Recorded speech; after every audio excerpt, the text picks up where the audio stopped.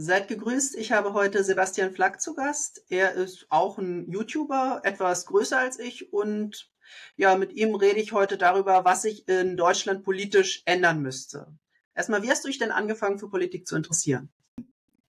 Ich, ja, vielen Dank für die Einladung und für die Zeit. Ähm, ich habe mich, ja, seitdem ich bei der Bundeswehr war, eigentlich für Politik interessiert. Also ich war damals, äh, musste noch zur Bundeswehr als deutscher Soldat äh, in Afghanistan auch und habe dort, der war dort zweimal und habe dort viele Sachen gesehen, die äh, auf das, den Faktor soziale Gerechtigkeit hinauslaufen. Und ich habe mich damals schon gefragt, okay, warum ist das so auf der Welt? Und da würde ich sagen, so ursprünglich kam mein Interesse ja für Politik, für Gesellschaft her, für Dinge, die einfach auf der Welt äh, ablaufen. Genau, ganz grob gesagt, ja. Also als du in Afghanistan warst, hast du dich, äh, als du in Afghanistan warst, hast du dich dafür interessiert, äh, wieso die Menschen in dem Land da so arm sind oder? Ja, erstmal äh, erstmal nicht. Also ich war dort ziemlich ähm, naiv, weil ich nicht wusste, was ich machen sollte und hatte dann bei der Bundeswehr äh, verlängert und habe dort ein Stück weit halt mitbekommen, wie die Menschen leben. Und Afghanistan ist ja nach wie vor eins, eines der ärmsten Länder der Welt. Und ich war trotzdem irgendwie fasziniert davon, warum die trotzdem ähm, zum Beispiel, wo, warum ich das Gefühl habe, die Leute dort sind sehr viel glücklicher als ähm, in Deutschland. Und dann habe ich irgendwie, ja, versucht, Sachen zu hinterfragen. Warum ist die Bundeswehr da? Was, was machen wir dort überhaupt aktiv? Äh, warum sind die Menschen nicht, nicht, warum sind die Menschen so glücklich und trotzdem so bettelarm? Und habe mich so gesehen immer mehr für ja, gesellschaftliche Themen, die Wirkungsweisen und äh, Zusammenhänge interessiert und natürlich auch für die Kultur. Ähm, wie würdest du es denn heute sehen mit Afghanistan? Würdest du da heute noch mal hingehen oder? Ich würde sicher noch mal äh, hingehen als ähm, ja, weiß ich nicht, äh, Urlaub wird schwierig. Tourist. Als oder? Tourist, ja. Also äh, es ist natürlich jetzt nicht mehr so einfach, ne, weil die Taliban hat ja das Ruder wieder übernommen.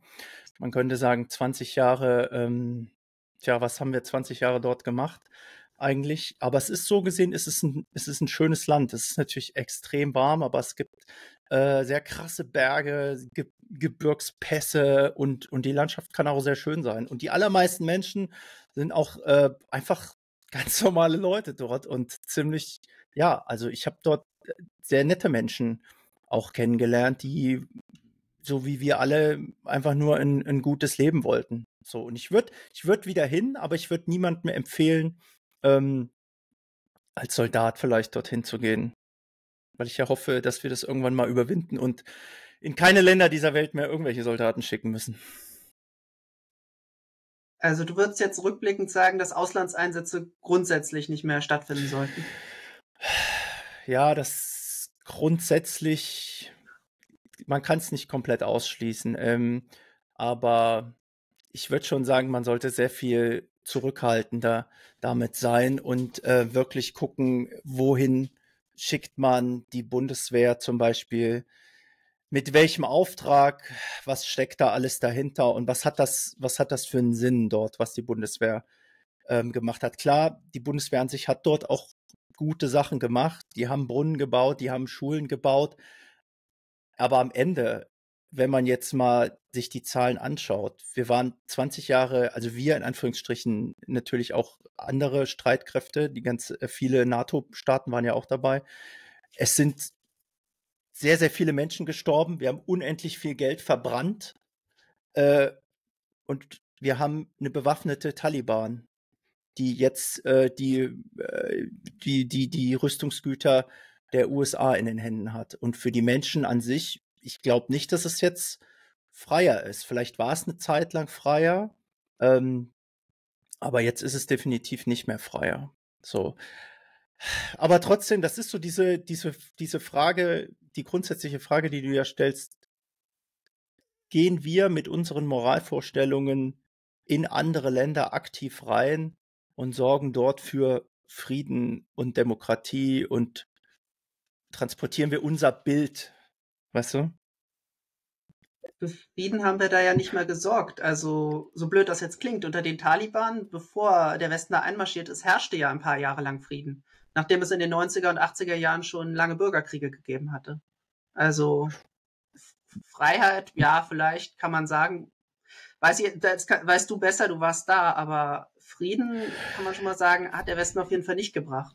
Und auch jetzt, wo Afghanistan äh, quasi gefallen ist, herrscht dort wieder Frieden. Also Frieden unter vor allem elendigen wirtschaftlichen Bedingungen, was auch an den neuen Sanktionen liegt, die jetzt erlassen wurden, mhm. beziehungsweise an dem Diebstahl der afghanischen Res Devisenreserven. Also als ähm, der Westen abgezogen ist, haben sich vor allem die USA diese Devisenreserven nämlich unter den Nagel gerissen, weswegen Afghanistan jetzt nicht ausreichend Nahrungsmittel auf dem Weltmarkt kaufen kann. Mhm. Ja, das ist so ein bisschen die Frage, wie definiert man Frieden? Natürlich hat die Taliban jetzt, sag ich mal, wieder die Kontrolle ähm, und es herrscht so gesehen Frieden im Sinne von, dass einfach eine Gruppe jetzt äh, wieder die Kontrolle hat. Ähm, ja, aber es gibt natürlich auch keine Anschläge mehr, weil die allermeisten Soldaten ja raus sind. Ne? Wahrscheinlich gibt es noch ein paar Hilfskräfte, die dort sind. Aber so gesehen ist es natürlich, könnte man sagen, jetzt friedlicher. Aber der ganze, sag ich mal, Einsatz dort im Sinne von, ähm, ich weiß damals noch, Peter Struck, ne, wirst du kennen vom Namen, SPD-Mitglied, ist ja nicht mehr unter uns. Äh, der hat ja mal gesagt, äh, die Freiheit wird am Hindukusch verteidigt. So, ne? Und äh, das sehe ich mittlerweile natürlich auch ein bisschen anders. Naja, aber äh, als du dann in Deutschland warst, was hast du dann hier als größte Probleme ausgemacht? Nach der Bundeswehrzeit?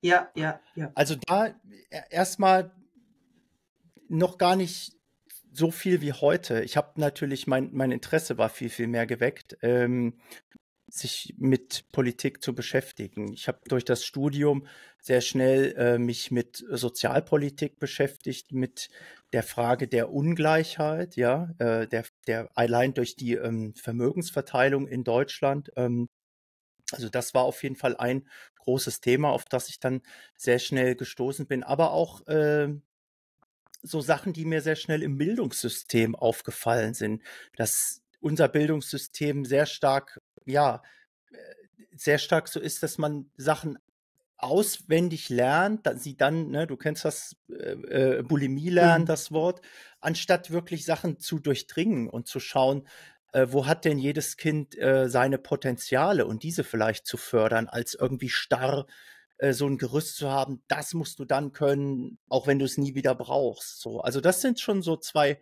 Hauptfaktoren, die mich dann relativ schnell interessiert haben und bis heute äh, auch ein Stück weit interessieren. Und die Frage nach der, äh, die soziale Frage, die Gerechtigkeitsfrage ist ja nicht gelöst. Und die Frage im, im Bildungssystem, haben wir, kriegen wir ein anderes, die ist ja auch nicht gelöst. Und das sind schon so zwei, zwei Schwerpunkte. Und da kommen wir jetzt äh, zur sozialen Frage. Die hat sich ja in den letzten zwei Jahren ja massiv verschärft. Also wir haben ja gesehen, dass die Löhne in Deutschland lange Zeit stagniert haben seit der Agenda 2010, dann wieder leicht gestiegen sind, aber durch die, den aktuellen Preisschock sehen wir den größten Reallohnverlust seit Jahrzehnten. Also würdest du, also wie nimmst du die, Deba die Debatte dazu wahr? Die Debatte ist eine Katastrophe. Also wir haben, ähm, seitdem ich wirklich mich mit Politik beschäftige äh, und denken kann, hört man ja immer faire Löhne für faire Arbeit.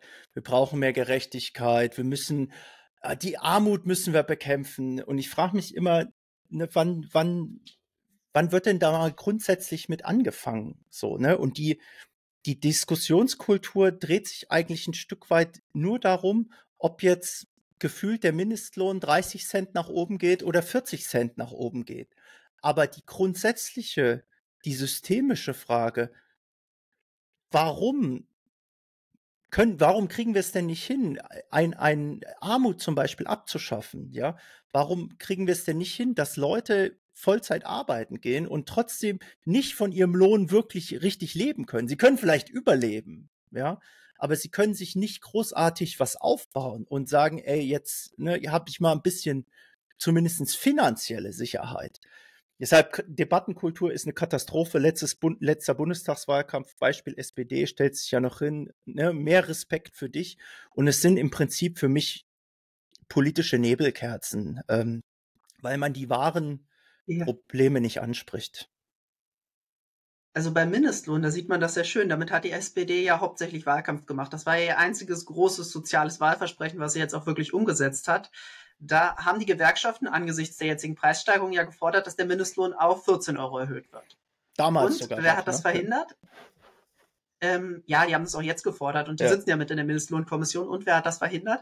Eine SPD-Politikerin namens Christiane Schönefeld, die in der, SPD, äh, in der Mindestlohnkommission sitzt. Das heißt, die SPD hat jetzt quasi hinterrücks dieses Wahlversprechen de facto wieder einkassiert. Hm. Das wusste ich auch nicht. Hat keiner mitbekommen, anscheinend. ein paar kleine linke Zeitungen wie Jacobin oder so haben darüber berichtet. Also okay. auch, auch, das kommt in der Debatte überhaupt nicht ja. an. Es wird nur berichtet, ja, Mindestlohn soll erhöht werden, so und so hoch. Aber welche Entscheidungsprozesse da gelaufen sind, wer da was gemacht hat und wer was gefordert hat, das wird überhaupt nicht berichtet. Genau. Also ich glaube auch, weil sich viele Journalisten dafür nicht interessieren. Ja, entweder interessieren sie sich nicht dafür oder sie haben keine Zeit oder sie wollen es schlicht auch nicht, diese, diese Fragen stellen. Weil wenn du diese Fragen stellst, dann kommst du nämlich ganz, ganz schnell auch mal ein bisschen an die Ursache ran. So, weil nehmen wir, nehmen wir den Mindestlohn. Wir haben einen Lohn, der ist jetzt bei 12 Euro. So, da hast du, wenn du Vollzeit arbeitest, 1400 Euro netto, glaube ich, raus. So, ungefähr wenn du Vollzeit arbeitest. So, dann gehst du, du hast äh, äh, die Wohnkosten, die immer mehr steigen, die Energiekosten, die Lebensmittelpreise, ne, nehmen wir aber noch GEZ als indirekte Steuer dazu. Da bleibt nicht viel übrig. So, und grundsätzlich ist der Mindestlohn ja ein vernünftiges Instrument, aber er müsste so, so hoch sein, dass du erstens nicht in Altersarmut landest und zweitens, dass du dir zumindest jeden Monat ein bisschen was ansparen kannst und auch ein Stück weit, äh, ja, dir nicht denkst, warum gehe ich denn arbeiten? Da kann ich ja gleich äh, ALG 2 bekommen und äh, da habe ich im Endeffekt genauso viel. Und das ist ja das Gefühl und die realen Zahlen geben es ja auch her, dass bei den Menschen ankommt. Und da haben wir ein massives Problem. Und da geht, da es wird nicht rangegangen meine weitere Zahl, die Kinderarmut, die hat sich in den letzten zwei Jahren auch extrem erhöht. Die ist ja jahrelang um die 20 Prozent äh, geschwankt. Also man hat gesehen, wie sich die Armut unter Rentnern durchgängig erhöht hat. Die war früher sehr niedrig. Durch die Rentenreform Gerhard Schröders ist sie dann immer weiter angestiegen. Aber die Kinderarmut, die ist konstant bei ungefähr 20 Prozent geblieben. Und die ist letztes Jahr, also jetzt eine Zahl äh, von Kindern, die von Armut und sozialer Ausgrenzung, so ist der korrekte statistische Begriff, bedroht sind, liegt jetzt bei 24 Prozent. Also auch die ist stark gestiegen. Also ja. wir sehen jetzt, dass jetzt fast ein Viertel der Bevölkerung mittlerweile, also ein Viertel der Kinder mittlerweile arm ist. Also das ist eine Entwicklung, die mit den aktuellen Preissteigerungen zu tun hat.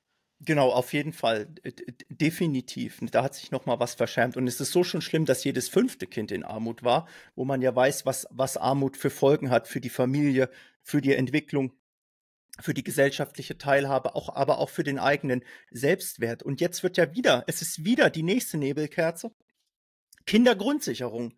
So, jetzt wird darüber gestritten, ja, ne, wie viel, äh, jetzt machen wir eine Kindergrundsicherung. Wie viel packen wir da jetzt rein? Zwei Milliarden, vier Milliarden, acht Milliarden. Aber es löst ja nicht, es wird nicht das Problem lösen der Armut. Das Ziel sollte viel, viel mehr sein, wie, wie schaffe ich anständige Löhne, von denen die Leute auch leben können? Und wie mache ich auch, äh, gestalte ich einen gewissen äh, Ansporn, auch zu arbeiten und rauszukommen und die Leute in gute Jobs, vernünftige Jobs zu vermitteln. So, ne? Da, da kann ich noch mal fünf Milliarden reinschütten und das Kindergrundsicherung nennen und habe wieder die nächste Nebelkerze, aber es behebt ja das Problem nicht.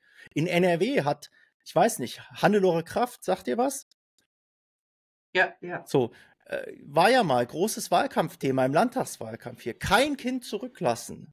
So, ne? Aber da ist auch die Kinderarmut gestiegen, ne? Und ähm, also da, da hängt ja so, so viel dran, wo Kinder einfach die, die, die notwendigsten Sachen und sei es nur das, das Pausenbrot, das Frühstücksbrot, wo die Eltern sich auch vielleicht nichts Gesundes leisten können, da hängt ja so viel dran. Und das leisten wir uns in Deutschland, weil wir, weil wir mhm. eben nicht die, die, die Verteilungsfrage stellen, weil wir nicht die Frage stellen, ja Mensch, wie viel müsste man denn verdienen, um einigermaßen vernünftig zu leben? So, das, oder wie, wie bekämpfen wir denn wirklich mal Armut?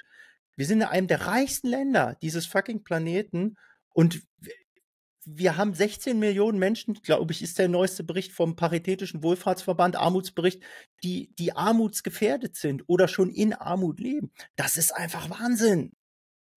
Das ist verrückt. Ja, ja. Also vor allem müsste man niedrige Löhne anheben und für Vollbeschäftigung sorgen. Also zwei Sachen, die die Bundesrepublik ja jahrzehntelang gut hinbekommen hat. Man sieht so ab den 80er Jahren, dass diese Lücke zwischen Löhnen und Produktivitätsentwicklung immer stärker auseinandergeht und dass das vor allem bei den niedrigen Löhnen der Fall ist. Also die hohen Löhne, die sind weiter gestiegen, aber die Löhne der unteren 10, 20 Prozent, die sind fast überhaupt nicht gestiegen seit 1990. Und das ist schon ja relativ auffällig. Vor allem, da viele Betriebe jetzt über angeblichen Arbeitskräftemangel klagen, den es, wenn man sich die Daten mal anschaut, nicht gibt. Da die Zahl an Arbeitslosen ungefähr dreimal so hoch ist wie die Zahl an offiziell gemeldeten offenen Stellen.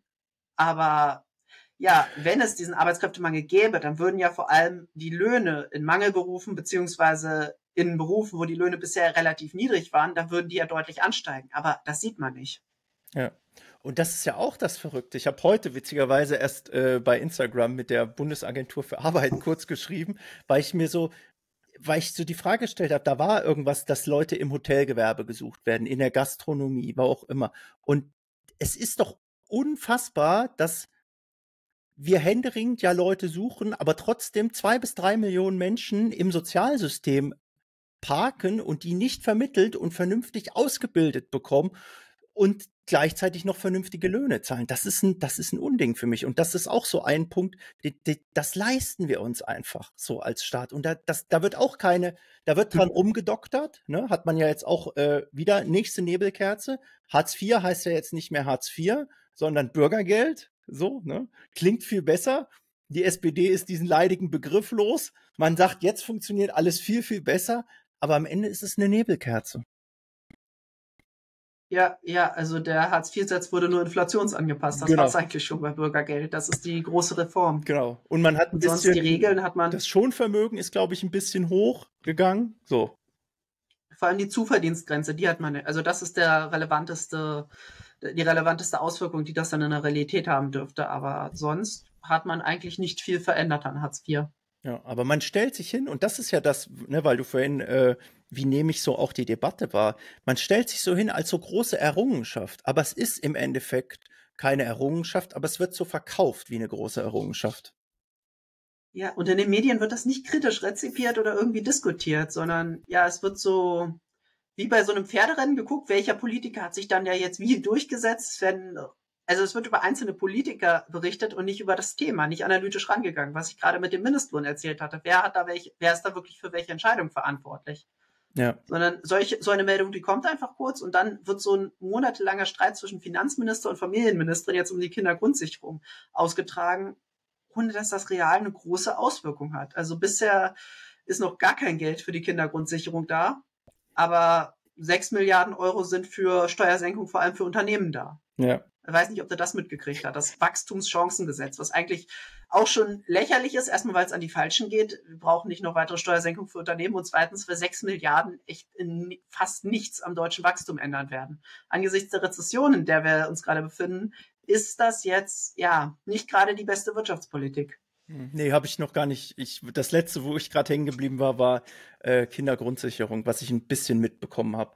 Aber das ist ja auch das Ding. Es, ist, es sind so viele Themen, und äh, du hast das Gefühl, es wird immer nur, wie du schon sagst, auf so einer äh, Symptomebene herumgedoktert, aber es wird wirklich nicht analytisch mal an die Sache rangegangen. Und das Ziel sollte ja sein, äh, wie schaffen wir Vollbeschäftigung? Äh, wie äh, äh, schaffen wir Armut ab, dass wir, dass wir einen Minimalwohlstand haben, ne? wo, wo jetzt nicht die Leute, äh, weiß ich nicht, am Hungertod nagen fast schon und sich nichts leisten können. Also das sind ja die, die relevanten Fragen, aber die werden nicht gestellt. Ja, vor allem die Politik will das nicht. Also das ist ja mit der Agenda 2010 ganz klar vorangetrieben wurde. Man hat absichtlich Armut erzeugt, man hat absichtlich die Löhne gesenkt, um eben Wettbewerbsvorteile in der europäischen Konkurrenz zu haben. Ja. Und anstatt dass das von den Medien mal kritisiert und analysiert wird, wie gesagt, wird nur oberflächlich berichtet. Es wird nichts tiefergehend mal auseinandergenommen, es wird nichts tiefergehend untersucht. Also man hätte diese Lohnentwicklung. In welcher Zeitung hast du das mal gesehen, wo die, diese ganz klaren Grafiken, dass die niedrigen Löhne fast überhaupt nicht gestiegen sind seit 1990? Also wir würden wahrscheinlich, wenn wir jetzt googeln würden, würden wir natürlich auch was finden. Aber wenn wir von die Medien reden, dann meinen wir natürlich immer die breite Masse. So, ne? Das ist ja, das ist ja klar. So, ne? Weil natürlich gibt es auch es gibt sehr gute Dokus zum Beispiel auf, auf Arte, die auch wirklich sehr in die Tiefe gehen. Aber das ist ein Rand, das ist eine Randerscheinung leider. Ja. Ich spreche jetzt von der Tagesschau, vom Spiegel, genau. von jeder Tageszeitung, ja. die du dir in Deutschland ja. kaufen kannst.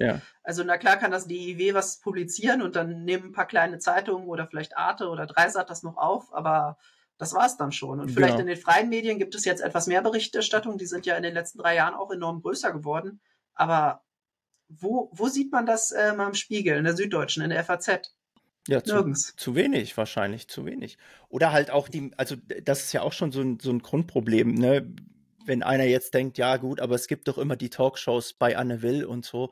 Aber auch da wird ja nicht in die Tiefe gegangen. Ne? Ich erinnere mich da noch, äh, äh, wirst du ja wahrscheinlich auch kennen, Heiner Flassbeck, ne, ähm, der ja, der ja selber früher, ach, weiß ich nicht, vor zehn Jahren oder so, auch mal in diesen Talkshows war und der irgendwann gesagt hat, ey, ich, da sitzen fünf Leute, wir haben eine Stunde Zeit, zwischendrin quakt die Moderatorin oder der Moderator rein und man kommt überhaupt nicht auf diese wirklich tiefe Ebene, um mal die Leute auch mitzunehmen, gedanklich und Zusammenhänge zu erklären, damit die es auch mal verstehen und dass man so ein bisschen auch an die Wurzel mal rankommt. So, das ist ja auch so ein Problem in den Medien. Also, und man könnte die Talkshows ja durchaus so gestalten, dass dann Erkenntnisgewinn zustande kommt, nämlich indem man einfach zwei Experten, also nicht Politiker, sondern Experten oder Politiker, die wirklich sich mit dem Thema auskennen, miteinander debattieren lässt und dann nicht eine Stunde, sondern drei Stunden lang. Ja. Oder wirklich nur über eine Frage. Ja, der erfolgreichste Podcast du weltweit ist äh, Joe Rogan. Der geht teilweise vier Stunden, labert der da mit irgendwelchen Leuten. Und die Leute gucken es, weil es einfach interessant ist und weil man in die Tiefe geht. Und das würde hier auch gehen. Und teilweise, ne, zum Beispiel, wenn man sich ähm, äh, Lanz und Precht anguckt, die sitzen ja zumindest zu zweit schon mal eine Stunde da. Ne? Da merkt man schon so ein bisschen, das funktioniert auch. Aber du hast recht, genau sowas. Nimm den, keine Ahnung, nimm den äh, Chef der Arbeitgeberverbände und nimm den Chef der Bundesagentur für Arbeit, setz die drei Stunden hin mit Anne Will und dann sollen die mal sagen, warum das nicht funktioniert, dass man die Leute vernünftig vermittelt bekommt. Äh, die würde, also ich würde eine andere Moderatorin wählen okay, und dann, dann machst du die Moderation. Oder, ja, oder Gewerkschaft. Gewerkschaftsökonomen.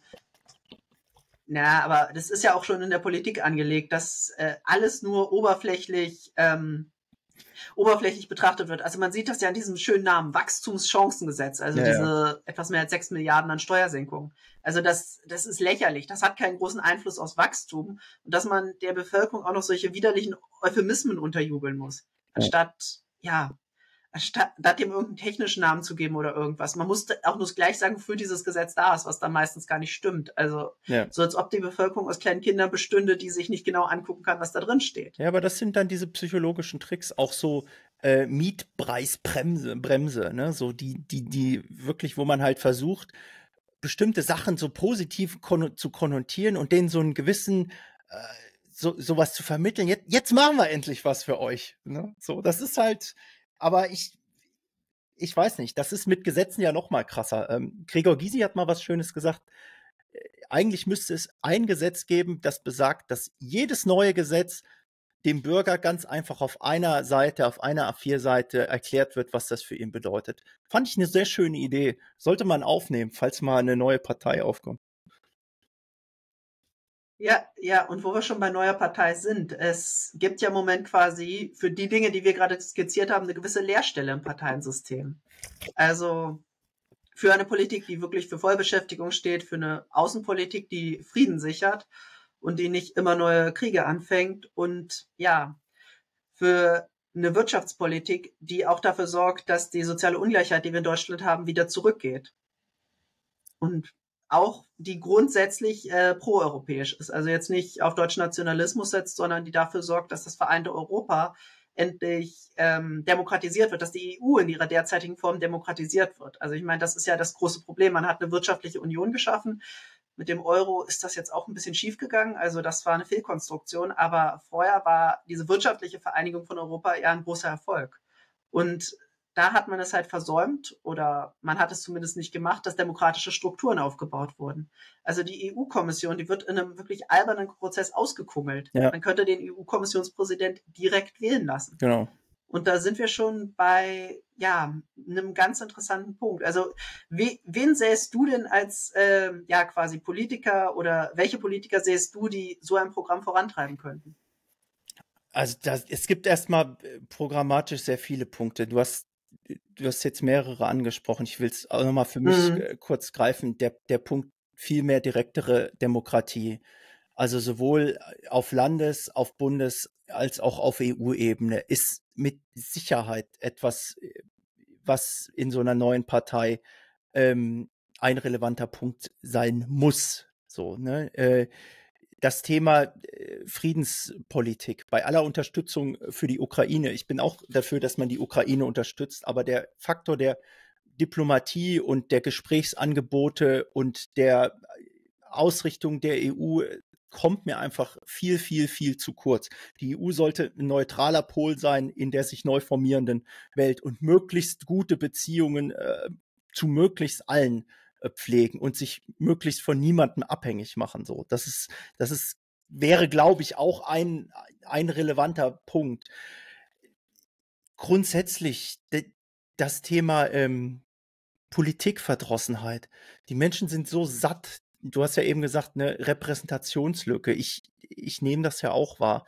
Ich habe so das Gefühl, es gibt einfach so viele Menschen, die sehen sich einfach nach einer Politik der Vernunft, der Ehrlichkeit, der Menschlichkeit, des, des Rationalen und des wirkliches, des Problemlösens.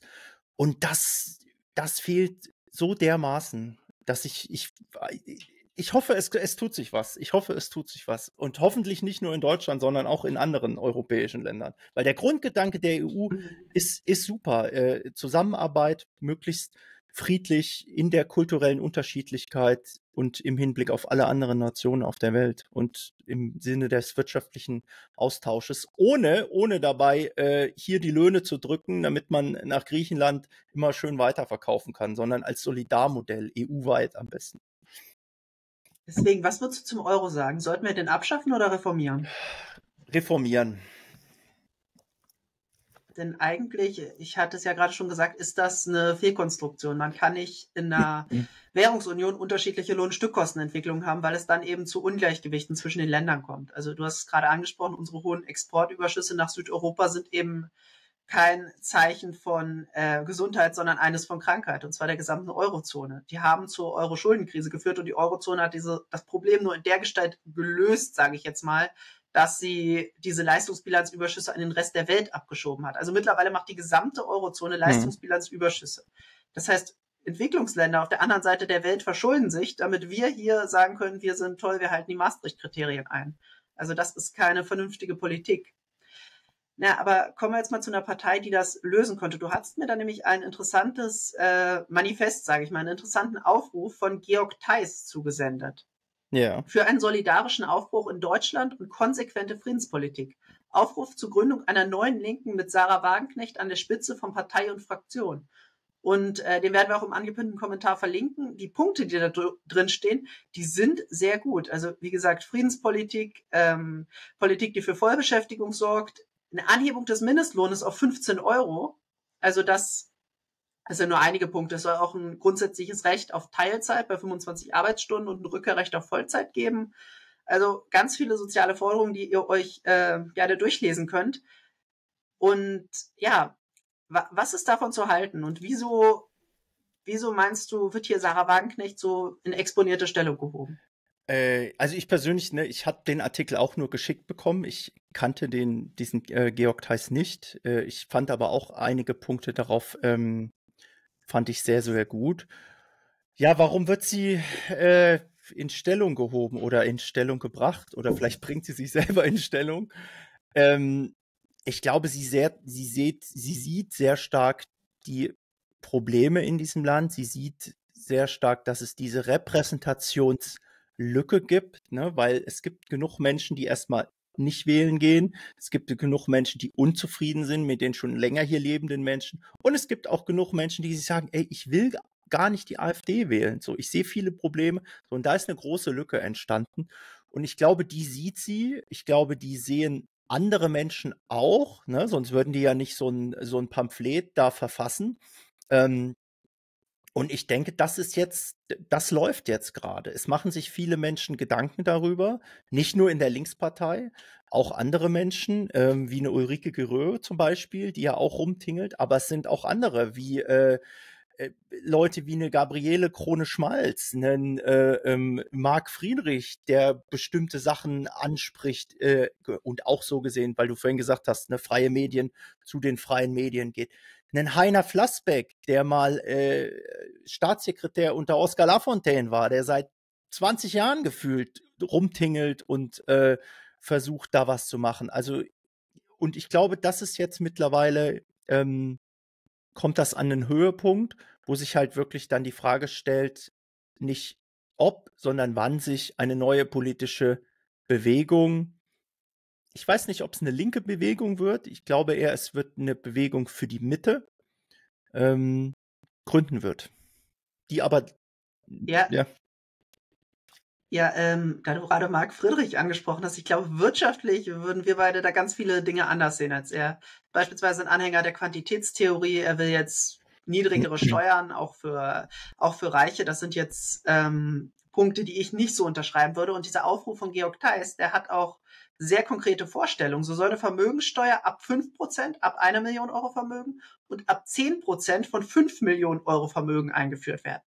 Eine ähm, der Spitzensteuersatz soll, also der höchste Spitzensteuersatz soll laut ihm 90 Prozent betragen und ab einem Einkommen von ähm, einer Million Euro greifen. Und die Körperschaftssteuersatz, der normale soll auf 25 Prozent angehoben werden und ab 100 Millionen Euro Umsatz bei Unternehmen soll auf bei 50 Prozent liegen. Und gegen die Steuersätze habe ich jetzt grundsätzlich nichts einzuwenden. Ich würde nur die Freibeträge deutlich höher ein, ansetzen.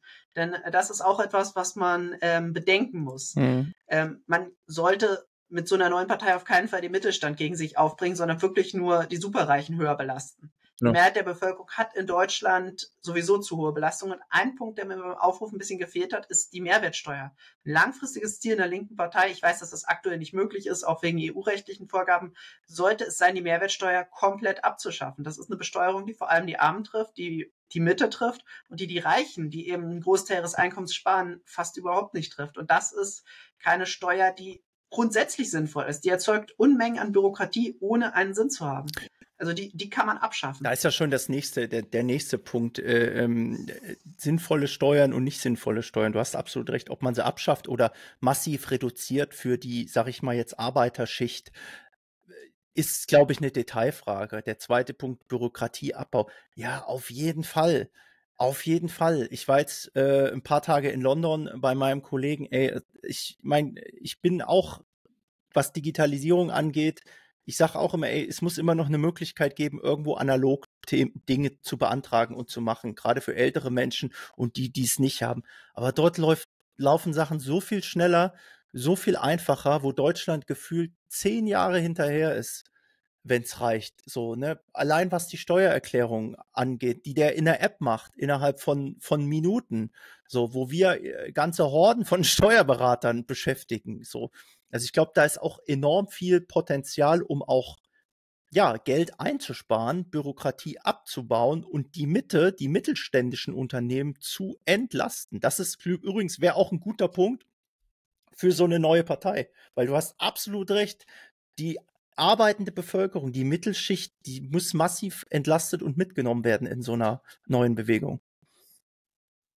Ja, wie gesagt, aber an den hohen Steuersätzen, also 90 Prozent Spitzensteuer für ganz hohe Einkommen, da würde ich überhaupt nicht dran rütteln. Also ich finde, diese hohen Steuersätze, die gab, die gab es im Großteil des Westens schon mal. Großbritannien betrug die Spitzensteuer zu ihren höchsten Zeiten 98 Prozent. Das war eine prohibitive Steuer, die sollte eben verhindern, dass, ähm, dass solche hohen Einkommen überhaupt erzielt werden, weil das auch für eine Marktwirtschaft überhaupt nicht notwendig ist, dass manche Leute 20 Millionen Euro an Jahreseinkommen haben. Ja. So, so etwas, also zumindest nicht als Lohn, so, so etwas braucht es nicht. Der Hintergrund, also ich weiß nicht, ich bin da zu, zu, also nicht so krass im Detail drin, ob ich jetzt sagen kann, die 90 Prozent sind es oder nicht, aber systematisch, wenn wir wieder auf die Systemebene gehen, stellt sich ja die Frage, habe ich ein System, was möglichst für so eine äh, äh gausche Glockenkurve, also für einen Ausgleich sorgt, oder habe ich ein System, was quasi befördert, dass die, die schon viel haben, immer mehr bekommen. So, dass es quasi immer, je reicher ja, ja. du bist,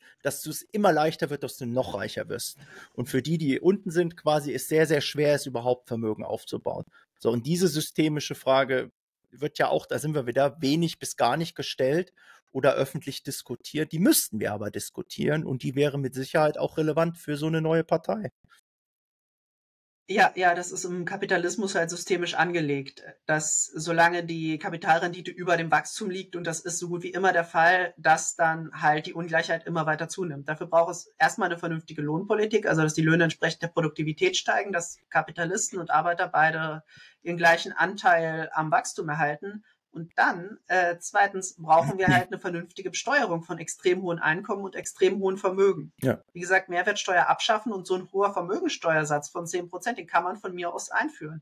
Denn die, wir haben in den letzten Jahrzehnten eine Zunahme an Ungleichheit gesehen. Und um das wieder abzubauen, brauchen wir jetzt auf jeden Fall temporär eine übermäßige Besteuerung von hohen Einkommen und hohen Vermögen, um das wieder ein bisschen hm. runterzubringen und wieder auf ein gesundes Maß zurückzuführen. Ja, oder eine, eine, eine Art Lastenausgleich, ne? Nenn es wie du willst. Irgendwas, es kann halt einfach nicht sein, dass sich immer mehr Vermögen bei immer weniger Leuten konzentriert. Das ist, das ist nicht gut. Da muss ich nicht studieren für. Da, das weiß ich einfach vom Gefühl her, dass das nicht gut ist. So, na klar, wenn die, jetzt kannst du natürlich, jetzt gibt es natürlich Leute, die sind so super reich und spenden 90 Prozent von ihrem Vermögen.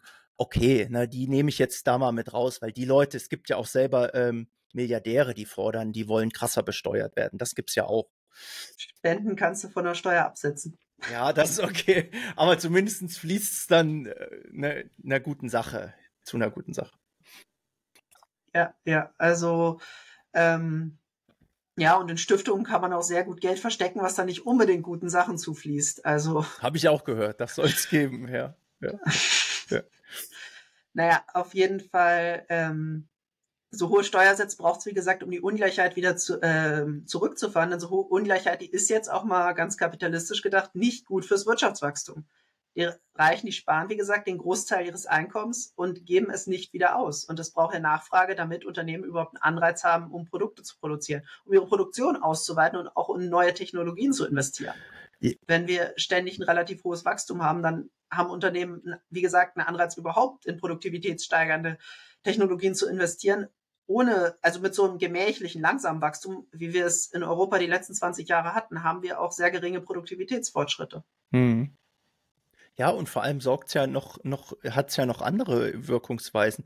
Ungleichheit, Armut, Ungerechtigkeit sorgt natürlich auch für eine, für eine massive Benachteiligung und, und dadurch, dass Menschen vielleicht auch nicht ihr vorhandenes Potenzial ausschöpfen können und dann eher in irgendwelchen äh, Jobs oder im Sozialsystem verharren, anstatt, ich sag mal jetzt nur rein produktiv äh, äh, etwas zu tun, wo sie wirklich gut drin sind äh, und wo sie sich mit identifizieren können. Das, allein das könnte man ja aus kapitalistischer Sicht sich schon die Frage stellen, hey, wie nutzen wir denn so gesehen das Humankapital und holen das Beste und schaffen ein System, um das Beste aus jedem herauszuholen. Auch davon sind wir ja äh, unendlich weit entfernt. Plus, der zweite Faktor in Sachen Ungleichheit, Ungerechtigkeit ist natürlich Nährboden für extreme Parteien, wie wir es ja jetzt in vielen verschiedenen europäischen Ländern auch sehen, wo, ja, wo Parteien wie die AfD hochkommen. ja, wie die Grünen, wie, also solche extremen Parteien halt. Ähm, ähm, ja, also diese, diese extremen Parteien, du, meinst ja diese ja eher, eher rechtsgerichteten Parteien, die sich, wie es aussieht, vielleicht gar nicht so extrem sind, sondern die, wie wir in Italien sehen, sich sehr gut ins Parteienspektrum integrieren und dann einfach neoliberale, ja, transatlantische Politik machen und weder an dem Kriegskurs gegenüber Russland noch in der sozialen Frage irgendetwas ändern. Und das Lustige ist nicht mal eine Einwanderungsfrage, also da, wo sie am meisten mit Wahlkampf machen, ändert sich dann groß was. Also in Italien, da setzt die Regierung weiterhin auf hohe Einwanderung, weil die Wirtschaft eben Fachkräfte braucht. Also mhm. wir, wir sehen in keinem Bereich, in keinem relevanten Bereich, dass die rechten Parteien ihre Wahlversprechen groß umsetzen, sondern sie passen sich dann ja sehr schnell an die Politik, die bisher schon gemacht wurde, an und können sich dann an den Futtertöpfen bedienen, so wie es die alten Parteien auch gemacht haben. Genau, und da haben wir, da sind wir schon bei dem nächsten aus meiner Sicht relevanten Punkt für eine neue Partei. Ähm, es muss die Frage, die, diese systemische Frage gestellt werden. Ähm, Diäten, Lobbyismus, vielleicht auch eine Amtsbeschränkung von zwei oder drei Legislaturperioden, also das Thema Berufspolitiker, ne? Einfach erstmal einen, eine neuen Art von Politikertyp, der ja, der nicht nur wählbar ist, der zum Beispiel auch wieder abwählbar ist und nicht nur erst nach vier Jahren, sondern auch während der Legislaturperiode. Und das sind alles Punkte, die, da hast du recht, äh, die, die, die würden damit wahrscheinlich, also spielen auf jeden Fall eine Rolle. Ja, all die Punkte, die du gerade angesprochen hast, die sind interessanterweise auch in dem Manifest von Georg Theiss hier enthalten. Also beispielsweise die EU-Kommission soll direkt gewählt werden und auch wieder abberufen werden können per Volksabstimmung. Äh, Amt und Mandat sollen voneinander getrennt werden. Also ein Politiker kann nicht gleichzeitig im äh, Bundestag sitzen und Ministeramt innehaben. Ja, ich sage ja, also grundsätzlich, äh, ich, dieses Thema mit dem neue Regeln für Politiker oder nenn es wie du willst, ne, ähm, das ist ja definitiv muss das kommen. Das ist, das ist ein, ein Hauptthema, ne? Also äh, du wirst immer wieder, gibt es halt so Leute, die bereichern sich, ne? Äh, oder verschwenden halt massiv Steuergeld. So, ne? Halt, hm. Scheuer. Ja, ja. Katastrophe. Ja. So. Heißt verschwenden. Das können auch ihre Freunde beschenken. Man denke da daran, was äh, die rot-grüne Regierung unter Schröder mit unserem Rentensystem gemacht hat. Also man kann es nicht äh, oft genug betonen. Das war eine Ausplünderung unseres Rentensystems zugunsten von wenigen Versicherungsgesellschaften, die den Leuten dann Riester-Renten andrehen konnten. Also das ja auch noch. Ne? Ich rede ja jetzt erstmal nur von den direkten Sachen oder die Maskendeals oder solchen Geschichten. Ne?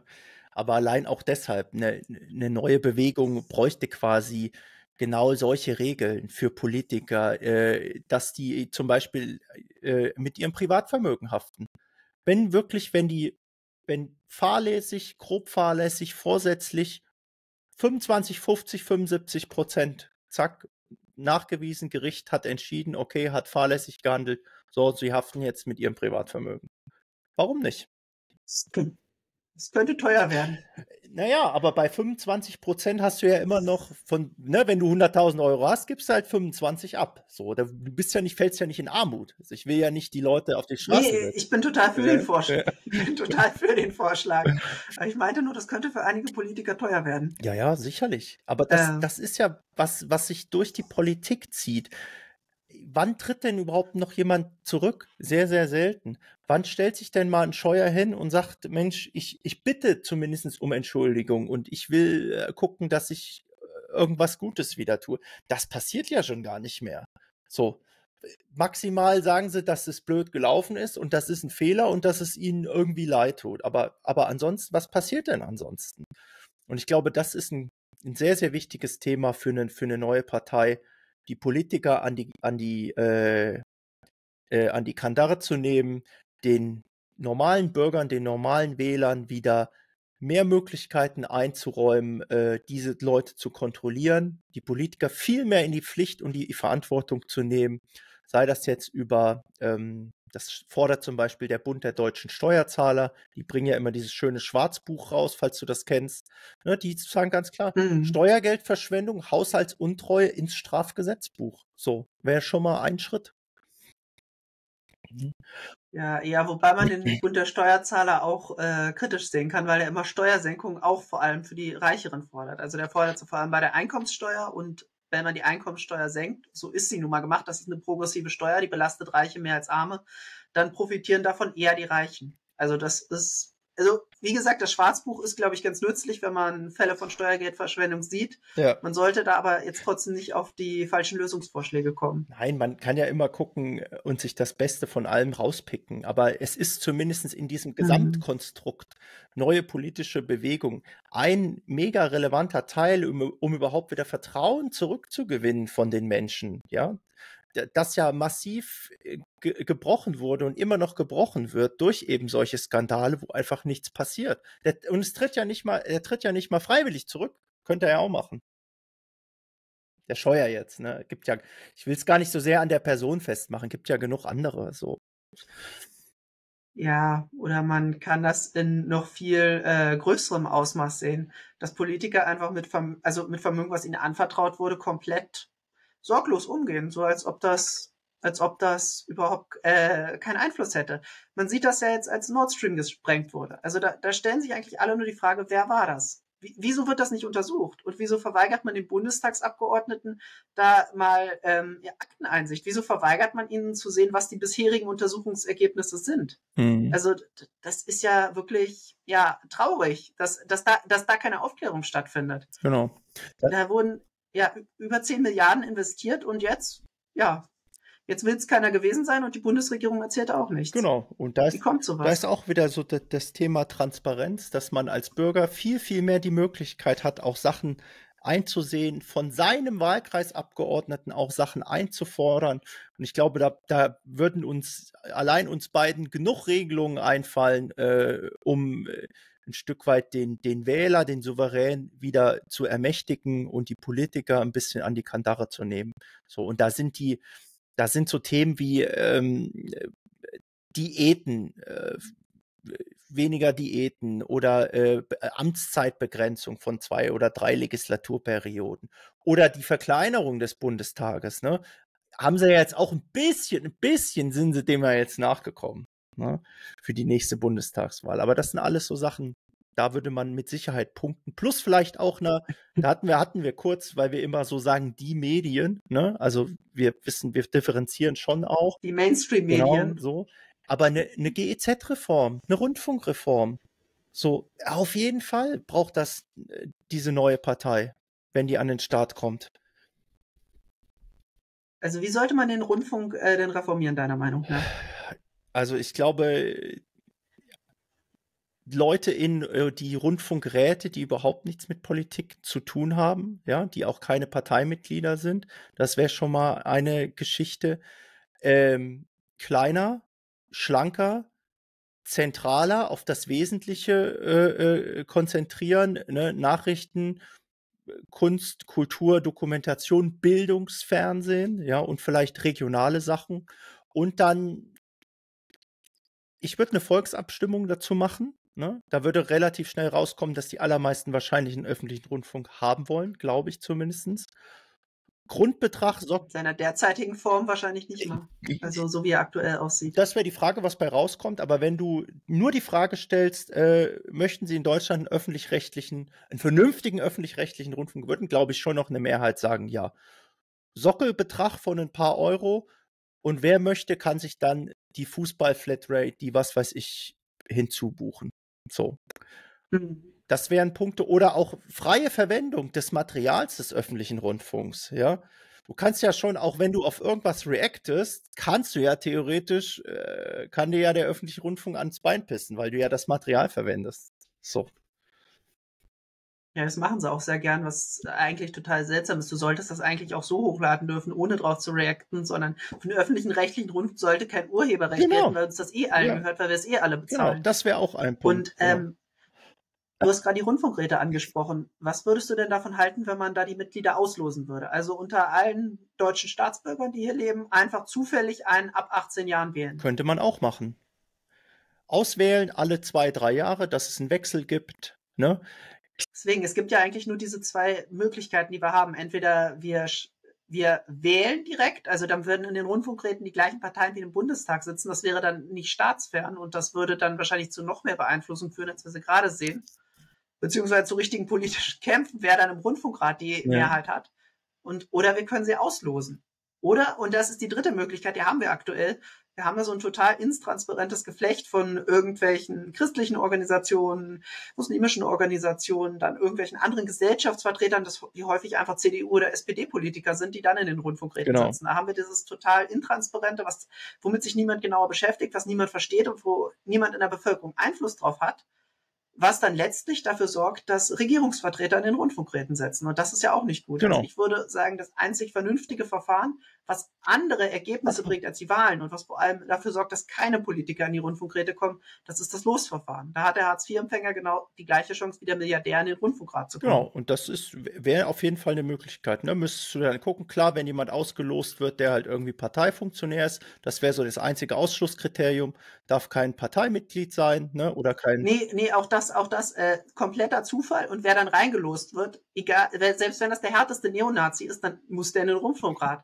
Man kann nicht äh, Personen ausschließen, weil es dann wieder politischen Missbrauch gibt. Sowas darf es nicht geben. Deswegen komplettes Zufallsprinzip und alle Bürger hm. ab 18 Jahren dürfen da reingelost werden. Ich habe gerade so gedacht an, es gibt ja auch manchmal ähm, irgendwelche Menschen, die bekommen das Wahlrecht aberkannt und solche Geschichten. Ne? Das es ja auch. Daran habe ich gerade gedacht. Ja, sowas soll, sollte es da gar nicht ja. geben, denn äh, also wenn jetzt ein einzelner Mensch das Wahlrecht aberkannt bekommt, macht das jetzt im, im großen Bild nicht den großen Nein, Unterschied, weil es ja äh, Dutzende Millionen Wahlberechtigte gibt, aber in so einem Rundfunkrat, wo nur ein paar hundert Personen oder ein paar Dutzend Personen sitzen, da ist das schon gefährlich, wenn man da einzelne Mitglieder entfernen kann, weil sie polit falsche politische Meinung haben. Mhm. Also erstmal offen, sagst du. Ja, wäre eine Möglichkeit. Alles, alles ist besser als das, was wir jetzt haben, glaube ich.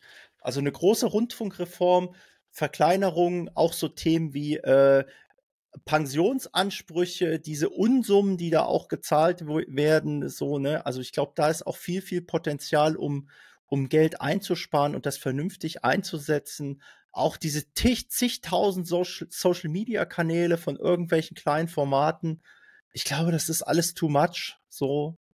Ähm, und da ist viel. Nicht nur too much, vor allem das Falsche. Äh, also es gibt ein einziges Funkformat, was sich wirklich mit Wirtschaftspolitik beschäftigt. Also was kostet die Welt heißt das und ob sich das wirklich nicht, es beschäftigt sich nicht mal hauptsächlich mit Wirtschaftspolitik, sondern hat auch noch ein paar andere wirtschaftliche Themen. Also es gibt kein einziges Funkformat, was sich hauptsächlich mit Wirtschaftspolitik beschäftigt.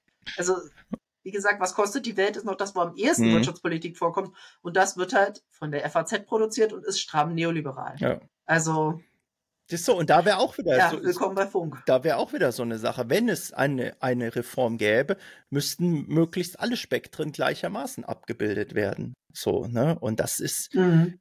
entweder gar keins oder möglichst alle gleichermaßen. So, ne? Aber dieser Ausgleich fe ja. fehlt halt auch, ne? Das ist, und wer möchte, kann sich dann halt seine Fußball-Thread-Rate hinzubuchen. So würde ich das machen. Ne, würden natürlich einige würden ja. jetzt sagen, nein, wir wollen überhaupt keinen öffentlich-rechtlichen Rundfunk. Grundsätzlich ist es eine gute Sache, wenn er möglichst neutral ist. Auch die Redaktion, du könntest auch die Redaktion über einen bestimmten Schlüssel besetzen, damit du wirklich auch einen guten Mischmasch von Leuten hinbekommst. So, wäre auch eine Möglichkeit. Vor allem, du musst bei den privaten Medien immer denken, wessen Interessen vertreten die. Da gibt es die freien Medien, die tatsächlich von ihren Lesern finanziert werden. Da gibt es aber die meisten Medien werden ja, ähm, die gehören bestimmten großen Konzernen und die vertreten dann natürlich die Interessen der Aktionäre von diesen Konzernen. Ja. Also das ist doch komplett selbstverständlich im Kapitalismus, dass eben der, der das Kapital besitzt, auch sagt, wo es lang geht. Ja. Und da kann, wie beispielsweise im Fall von Springer, auch ein großer Hedgefonds aus den USA, KKR heißt der, sich ja fast die Hälfte von Springer kaufen.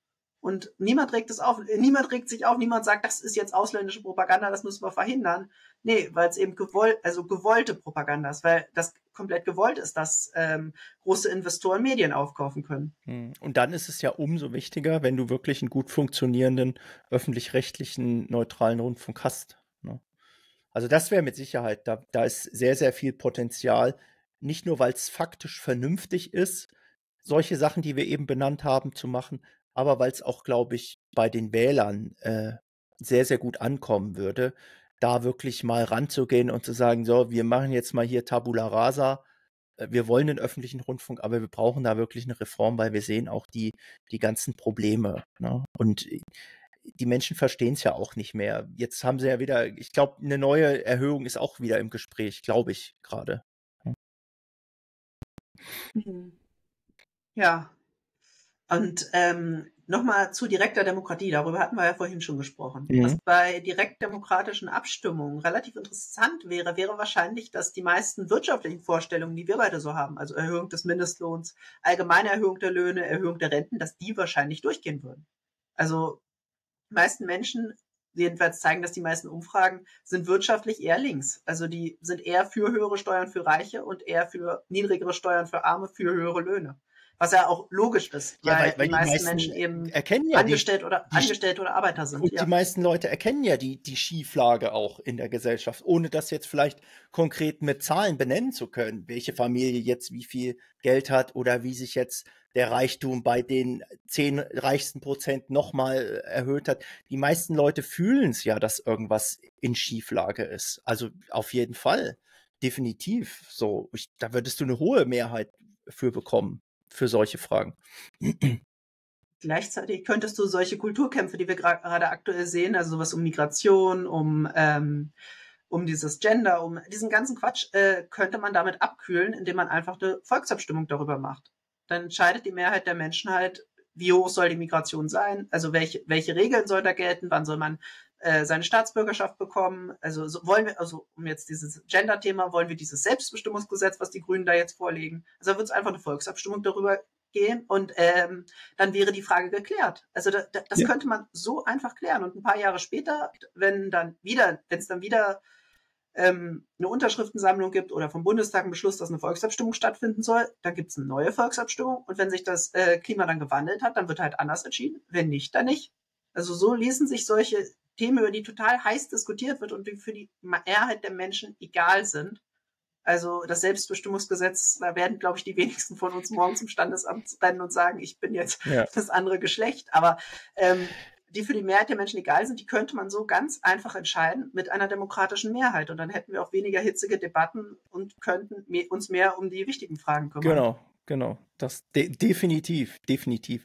Also es ist immer so die Frage, was, was stimmt man dann alles ab? Ähm, jetzt nenne ich schon wieder Gregor Gysi, ne? aber der sagt halt manchmal vernünftige Sachen. Und ich glaube auch zu dem Thema Volksabstimmung hat er mal gesagt, es, es gäbe nur äh, bei so einer Frage müsste äh, erst das Bundesverfassungsgericht äh, prüfen, ob die Frage, sage ich mal, ähm, auf dem Boden des Grundgesetzes äh, steht. So, ne? Ja, das ist selbstverständlich. Also du kannst jetzt keine Abstimmung machen, weisen wir äh, alle Genau. aus Deutschland aus, die keinen ARIA-Nachweis haben. Also, Genau, das, genau. Das, ist klar, ne? dass Ja. sowas nicht geht. Aber ich glaube auch, dass sich, dass sich viele Sachen ergeben würden. Ähm, und natürlich, plus die Leute hätten auch wieder mehr das Gefühl, mitgenommen zu werden. So, ne? Natürlich gibt's ja manchmal so, so Bürgerentscheide, äh, wo Leute irgendwas machen, aber so auf Landes- und Bundesebene, ne, da ich, ist es, glaube ich, wird, ist immer mehr an der Zeit, dass sowas kommt. Ja, Aber ich, die- So manche Landesverfassungen da schon weiter sind. Ich habe das Gefühl, da könnten Gewerkschaften, Sozialverbände häufiger mal solche Abstimmungen organisieren. Also auch um solche tariftreue Vergabegesetze auf Länderebene zu erreichen. Also dass Länder halt verpflichtet werden, bei ihrer öffentlichen Auftragsvergabe nur noch ähm, Verträge an Firmen zu geben, die sich an die äh, Tarifverträge halten, die branchenüblichen. Das könnte man Mhm. auch auf Bundesländerebene relativ leicht machen. Also was wird von Gewerkschaften halt relativ wenig organisiert, wahrscheinlich weil die sich auch nicht als politische Institutionen sehen, sondern wirklich nur sich auf den Streik im nächsten Jahr konzentrieren und gar nicht so sehr auf politische Kampagnen, die aber auch wichtig wären, um die eigene Verhandlungsposition zu stärken. Mhm. Ja, ja, wahrscheinlich schon. Ne? Also es gäbe mit Sicherheit genug Möglichkeiten, ähm, ob das jetzt der Mindestlohn ist, äh, das Thema Migration, was auch nicht gelöst ist, nach wie vor auf EU-Ebene, aber auch nicht in Deutschland. Ähm, aber auch so Sachen wie GEZ-Reform. Ne? Gibt es viele, viele Möglichkeiten. Plus direkte Demokratie, einfach die Tatsache, dass du äh, zum Beispiel den Bundespräsidenten oder eine Bundespräsidentin direkt wählen kannst. Oder auch, ich würde sogar sagen, äh, Bundeskanzler. So, wa- why not? So, warum nicht? Ja, der wird ja durchs Parlament gewählt. Wir sind ja eine parlamentarische Demokratie. Das kannst du nicht so machen. Zumindest nicht so Also, einfach kann es man gibt so ja machen. Es gibt ja parlamentarische und Präsidialdemokratien und wir sind eine parlamentarische. Das heißt, bei uns wird ein Parlament gewählt und das bestimmt dann die Regierung. Und Ja, aber in Frankreich, da hast du eine Präsidialdemokratie, da bestimmt der Präsident dann die Regierung. Also am Bundespräsident, auch wenn er bei uns nur zeremonielle Funktion hat, kannst du trotzdem direkt wählen. Ja. Also da würde nichts dagegen sprechen. so oder so gäbe es bestimmt Möglichkeiten, mehr Elemente der direkten Demokratie auch mit unserem repräsentativen System zu verknüpfen. Mit Sicherheit. Wenn jetzt irgendwelche schlauen Also Juristen würde- zugucken, bestimmt. Ja, ich würde sagen, du kannst auch bei bestimmten Entscheidungen Volksabstimmungen verpflichtend machen, bei Auslandseinsätzen beispielsweise. Stell dir mal vor, vor jedem Auslandseinsatz der Bundeswehr in den letzten 25 Jahren hätte es eine Volksabstimmung davor gegeben. Ja. Also ich würde sagen, uns wäre der eine oder andere Krieg, wahrscheinlich auch der in Afghanistan, erspart geblieben. Wahrscheinlich schon. Also ja. Kriege hätten wahrscheinlich trotzdem stattgefunden, aber zumindest nicht unter deutscher Beteiligung. Genau, oder die grundsätzliche Frage, das haben ja auch die äh, Grünen noch in der letzten Bundestagswahl gefordert, ganz groß auf dem Plakat, keine Rüstungs- und Waffenexporte in Kriegs- und Krisengebieten. So, ja, dass man da eine Volksabstimmung Super Frage könnte. für eine Volksabstimmung. Ja, ja. Also Material. Ist die Frage, was sind Kriegs- und Krisengebiete? Also ist Saudi-Arabien ein Kriegs- und Krisengebiet, wenn es Kriege führt? Ja, das also es ist ja, da herrscht ja selbst kein Krieg. Also da, wie gesagt, ah, das könnte man dann ja in der Volksabstimmung erklären, ob man an bestimmte Länder Waffen liefert oder nicht kann man ja bei jedem Land ankreuzen, ja, nein, ja, nein. Ja, zum Beispiel. Äh, also so eine Volksabstimmung könnte man ja nach einer Unterschriftensammlung dann äh, durchführen. Ja. Also das, das sind alles Fragen, die sich richtig leicht durch Volksabstimmungen klären ließen. Ja. Also die, die, ich glaube auch diese Sanktionen. Ja. Ich glaube auch diese Sanktionen, die jetzt gegen Russland erlassen würden, die wären in der Schärfe nach einer Volksabstimmung nicht gekommen. Also es kann sein, dass einige Oligarchenvermögen ereignet worden wären, aber wirklich diese Sanktionen, die enorme Preissteigerungen zur Folge hat, hatten wenn wir da eine vernünftige Debatte drüber gehabt hätten und wenn wir dann wirklich darüber abgestimmt hätten, ich glaube, dann hätte es das nicht gegeben. Könnte sein, ja. Ja.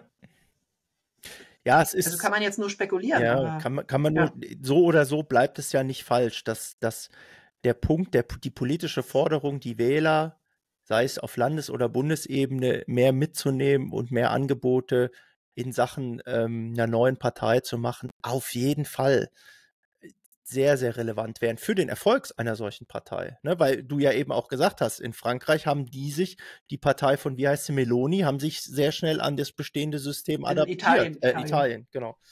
Haben sich sehr schnell adaptiert. Mhm. Und das gilt es ja zu verhindern und wirklich Politik für die Bevölkerung, für die Mehrheit der Menschen, für die Arbeiter zu machen. So, das ist ja eigentlich so dieser Punkt. Ja, und also die meisten Leute sind ja Arbeiter, Angestellte oder halt Leute, die von Transferleistungen leben. Also ich bin Student. ähm, auch, auch, auch, da habe ich ja kein großes Vermögen. Also auch mir würde es äh, jetzt nicht helfen, wenn man die Steuern für die Reichen nochmal senkt. Auch ich muss die höheren Preise bezahlen. Also das müssen wir uns mal wirklich äh, veranschaulichen, dass die absolute Mehrheit der Bevölkerung in Deutschland von der aktuellen Politik beziehungsweise von der Politik, die die letzten 40 Jahre gemacht wurde, nicht profitiert. Ja, genau. Ich glaube, ähnliche Untersuchungen gab es mal auch in den USA. Da hat sich irgendeine Uni, haben sich angeguckt, ähm, wie, was werden für Entscheidungen getroffen und wer profitiert am meisten davon. Und da kam auch raus, dass das mhm. eher die, die ja, reichere Bevölkerungsschicht ist. Ne? Und das ist auch grundsätzlich ist das, da sind wir wieder bei dem Thema der, der sozialen Frage und dem Faktor, ähm, schaffen wir ein System, wo möglichst alle Menschen mitgenommen werden und den man sich auch ein bisschen Wohlstand aufbauen kann?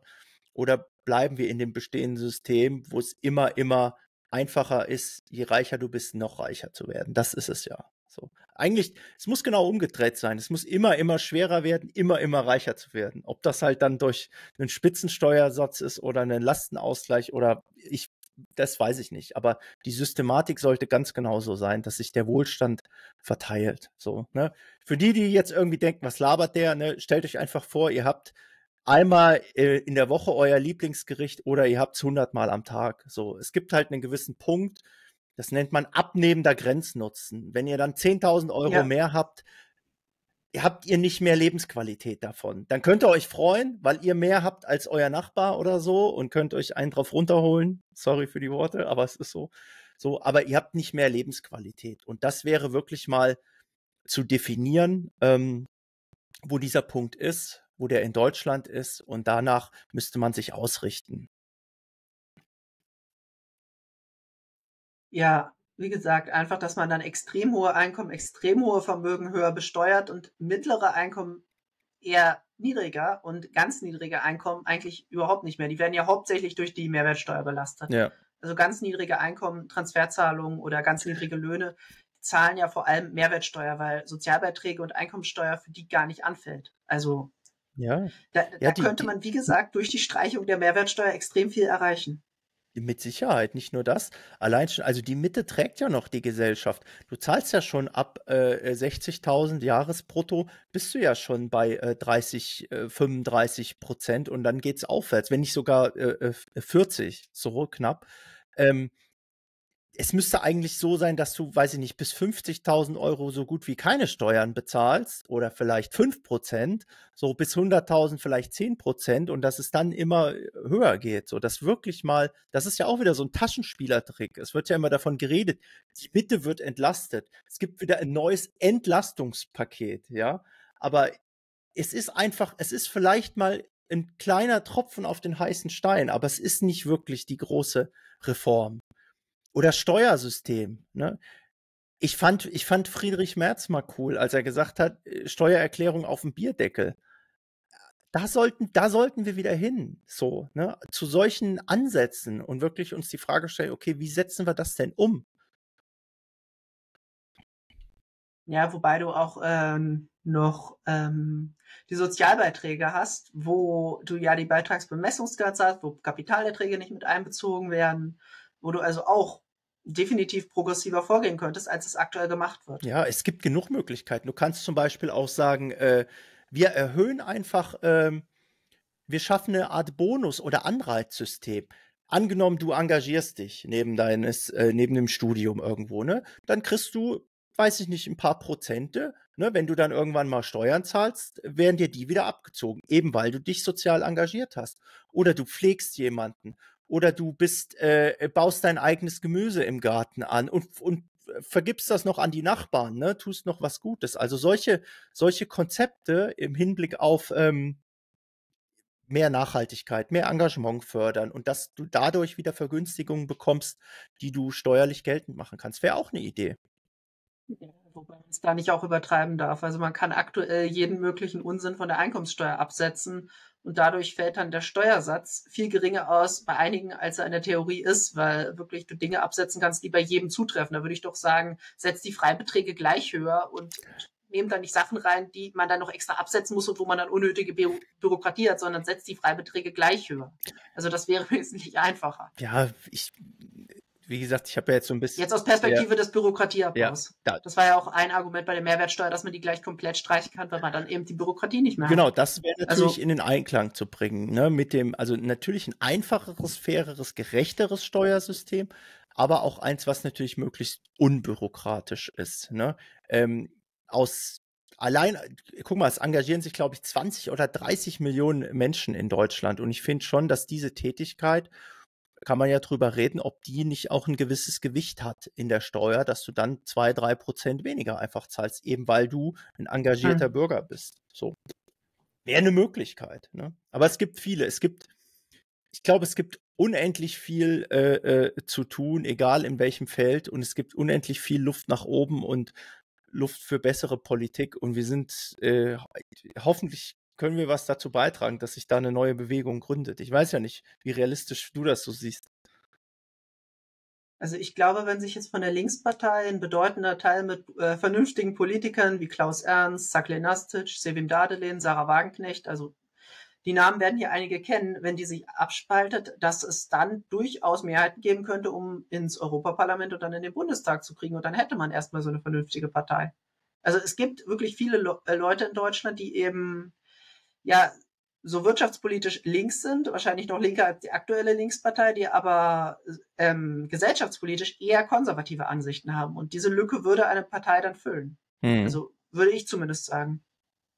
Ja. Also die dann solche Gesellschaft, gesellschaftlichen Themen, wo es ja durchaus konservative Mehrheiten gibt, die einfach, wie gesagt, beispielsweise durch Volksabstimmung abräumt. Also dass man nicht eine Entscheidung von oben trifft, sondern dass man sagt, so, was wollt ihr jetzt? Wollt ihr jetzt Selbstbestimmungsgesetz? Wollt ihr es nicht? Also das wäre ja eine ganz einfache Frage. Die könnte man ja den Menschen stellen und wenn sie es wollen, ist gut, wenn nicht, ist auch gut. Also ja. das wäre eigentlich die richtige Position der linken Partei. Sowas soll halt das Volk basisdemokratisch entscheiden. Ja, sehe ich ähnlich. Die Menschen mitnehmen, die Leute beteiligen äh, und auf jeden Fall für sozialen Ausgleich sorgen und die, die möglichst die Probleme lösen. Ne? Ähm, weil ja. das ist ja auch was, äh, von dem die aktuell profitiert ja nur eine Partei davon und das ist leider Leider ist es die AfD. Die AfD profitiert von den Problemen, von den sozialen Verwerfungen und von dem, äh, äh, von dem Vertrauensverlust in der Politik massiv. Die Linke profitiert nicht. Die Linke profitiert nicht, weil sie, tja, weil sie sich, weil sie selber, da sind wir auch bei dem nächsten Punkt, für eine Partei ist das extrem wichtig, dass sie eben nicht zerstritten ist. Die Linke ist mega zerstritten. Äh, die Linke. Ich glaube, ja, aber sie ist doch mit Grund zerstritten. Also das Problem ist ja nicht, dass sie zerstritten ist, sondern das Problem ist, dass sie vor allem nach Ende des Ukraine-Krieges sich also komplett von allem abgewandt hat, was sie bisher gefordert hat. Also bisher war die Linkspartei ja gegen Wirtschaftssanktionen. Jetzt plötzlich ist sie für Wirtschaftssanktionen. Also nicht für alle. Da hat sie so total komische und inkonsistente Beschlüsse gefasst, anstatt einfach zu sagen, nein, wir lehnen diese Wirtschaftssanktionen ab. Wir wollen, dass das diplomatisch gelöst wird. Wir wollen nicht, dass hier Sanktionen erlassen werden, die der Mehrheit der Bevölkerung schaden. Mhm. Aber nichts von alledem. Also stattdessen wurde noch gegen hochrangige Parteimitglieder wie beispielsweise Sarah Wagenknecht total geschossen und es wurden völlig unnötige Streits begonnen, weil sie einfach nur das gesagt hat, was mittlerweile unsere Außenministerin zugibt. Die Sanktionen wirken nicht dermaßen, wie, äh, wie wir gedacht haben. Erst, ne? Sie schaden ja. eher uns. Ja, ja, ja, Baerbocks Aussage war richtig lustig. Äh, ja, ähm, diese Sanktionen, die, die, die würden da in Russland nicht wirken, weil solche Logiken von Demokratien in Autokratien nicht wirken würden. Also, ja. solche Leute führen unser Außenministerium und da kann man sich wirklich nur in den Kopf fassen, ja. wieso die Linkspartei sowas nicht mal aufgreift und mehr popularisiert und da mal richtig gegen schießt. Ja, und die AfD, die AfD räumt leider ab. Die greift es halt auf. Ja, weil es in der Linkspartei eben Leute gibt, die unbedingt regieren wollen, die unbedingt zusammen mit Grünen und SPD regieren wollen und die, ja, dieser komplett falsche Kurs, also auf allen Punkten inhaltlich alles abzuräumen, was man die letzten zehn Jahre gefordert hat, der wird eben ja zum Verschwinden dieser Partei, zumindest in Westdeutschland, führen. Wahrscheinlich schon. Wahrscheinlich schon. Vielleicht wird sie sich natürlich klar, also sie ist ja sehr stark verankert, auch äh, in, in, äh, auf kommunaler Ebene. Sie wird wahrscheinlich irgendwann einfach zu einer Kleinstpartei werden, das kann ich mir schon vorstellen. Ne? Ob sie ganz verschwinden wird, weiß ich nicht. Aber äh, also sie hat ja bei der letzten Bundestagswahl schon es nur knapp geschafft, weil es äh, drei Direktmandate gab, ne, von äh, hier Gesine Lötsch, Gregor Gysi und ähm, oh, ich vergesse seinen Namen immer, Sören Pellmann, glaube ich. Äh, mm, auf ja, jeden Sören Fall, Pellmann. nur aufgrund der Tatsache haben sie es ja überhaupt geschafft. Ne? Und dann, und die Streitigkeiten mit dem Flügel Wagenknecht und vorher gab es ja auch schon, gibt es auch schon länger. Und das tut einer Partei auch nicht gut. Im Ende, am Ende ist es, glaube ich, auch gut, wenn jetzt irgendwann klar ist, äh, da gibt es eine Abspaltung. Es ist gut für die Linkspartei an sich, weil dann kann sie gerne ihren Kurs fahren in Richtung SPD und Grüne. Sollen sie machen, ne? wird man sehen. Und es ist ja, gut. Deswegen, vielleicht verschwinden sie dann auch nicht. Vielleicht bekommen wir dann eine zweite grüne Partei. Könnte sein. Was, weiß jetzt nicht, ob das ein Fortschritt ist. Das weiß ich auch nicht. Äh, aber das sollen, das, das können die ja dann mit sich ausmachen. Und es ist gut für das, das äh, politische System, weil endlich diese große Repräsentationslücke geschlossen wird, wenn sich was Neues gründet. So. Und das ist hm. der politische Wettbewerb. So. Und ich denke auch, ähm, also Sarah Wagenknecht hat ja selber auch gesagt, bis Ende des Jahres wird es eine Entscheidung geben. Und was ich so beobachte, alle Zeichen sind eigentlich, also ich bin mittlerweile bei 99 Prozent, dass das passiert. Ja, ich hoffe es. Und ähm, vielleicht machen dann auch äh, andere vernünftige Leute mit, die bisher keiner Partei angehören. Du hast schon Ulrike Güro angesprochen die im Europaparlament zu sehen, wäre bestimmt auch spannend. Vor allem, die Frau hat Ahnung. Ich habe ja, falls ihr es nicht gesehen habt, ich habe ein Interview mit ihr geführt. Die Frau hat einfach so viel Ahnung. Die hat 20 Jahre oder länger nur Europa gemacht, äh, war da in Gremien mit drinne, ähm, war auch teilweise für die CDU tätig, hat äh, damit rumgewerkelt. Die Frau hat einfach Ahnung von Europa. So da bin ich weit, weit von entfernt, so viel Ahnung zu haben. Ne? Und sie wäre, und ich ich wage mich weit aus dem Fenster, aber ich glaube, sie wird definitiv die Spitzenkandidatin werden für diese äh, neue Partei. Beziehungsweise bei der Europawahl hast du ja nochmal äh, was Besonderes. Es ist ja nicht so wie bei der Bundestagswahl. Wenn du zur Bundestagswahl antreten willst, brauchst du 16 Landesverbände. Ne? Du brauchst einen Bundesverband. Mhm. Bei der Europawahl kannst du relativ einfach mit einer sogenannten sonstigen politischen Organisation antreten. Ähm, du hast eine Gesamtliste für Deutschland, eine gemeinsame Liste für das ganze Bundesgebiet und du brauchst nur 4000 Unterstützungsunterschriften. Ne? Und wenn du, so wie du es vorhin gesagt hast, Europawahl mit einem guten Ergebnis einziehen und das den Schwung dann mitnehmen für die nächste Bundestagswahl. Das ist der Plan. Ich denke, ich, also alles andere würde überhaupt keinen Sinn machen. So, es würde keinen Sinn machen. Ja, ja, und wir hatten ja gerade schon skizziert, dass wir auf jeden Fall eine ja, linke Partei in Deutschland brauchen, da wir sowas nicht mehr haben.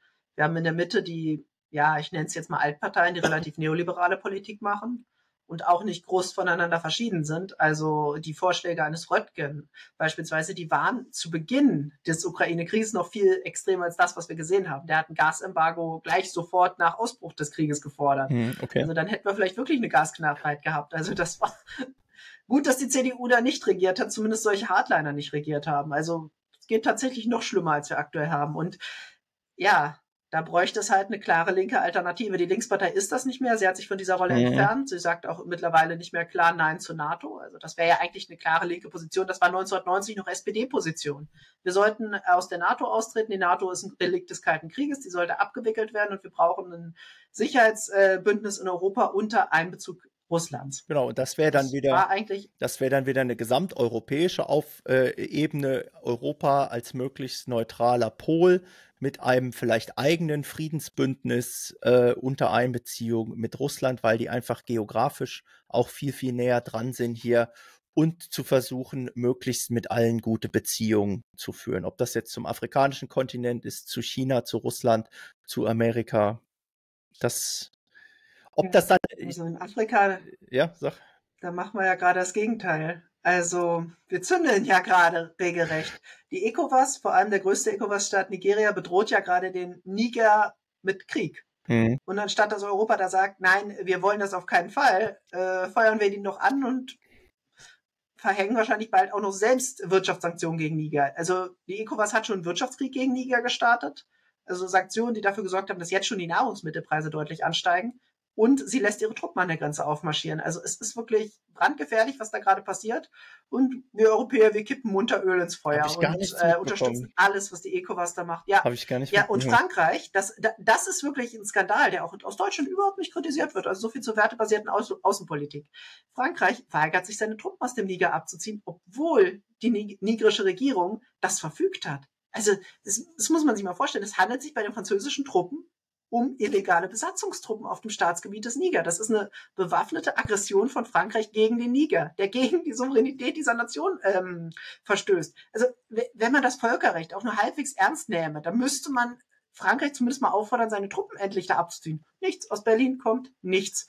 Völlige Unterstützung der ECOWAS, völlige Unterstützung von Frankreich und weitere Sanktionsdrohungen gegen den Niger. Also wenn da eine riesige Flüchtlingswelle losbricht, dann flüchten die, dann fliehen die natürlich in die Nachbarländer, wo kein Krieg herrscht. Also erstmal nach Algerien und dann nach Europa. Mhm. Also über Algerien kommt ja gleich das Mittelmeer und dann haben wir eventuell hier Hunderttausende, wenn nicht Millionen neuer Flüchtlinge, wenn es zu diesem Flächenbrand tatsächlich kommt. Und es wird nichts getan, um das zu verhindern. Mhm. Also es ganz im Gegenteil. Ja, das ist ja auch seit 2015 hat ja die EU schon quasi immer wieder gesagt, dass, dass wir brauchen da eine Lösung, eine Lösung, eine Lösung, aber es passiert irgendwie gefühlt, gefühlt nichts äh, in diesem. Wie gesagt, gerade geht es gar nicht um die Lösung für Flüchtlinge, die schon da sind, sondern um eine neue Flüchtlingswelle, ja, die droht, wenn es da zu einem ja, Krieg kommt. Ja.